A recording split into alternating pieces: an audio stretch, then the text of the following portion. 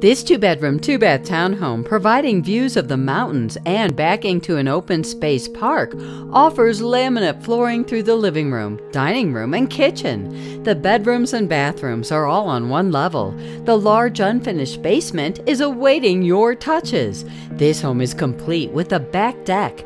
Think this is the perfect home for your family? Check it out today by calling Sarah Scott Wilson.